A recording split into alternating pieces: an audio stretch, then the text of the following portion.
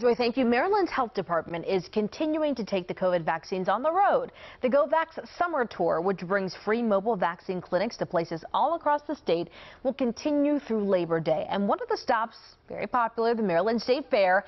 Health officials are urging everyone who is still not vaccinated to take advantage of this event, but to protect themselves, their family, their friends, and their community.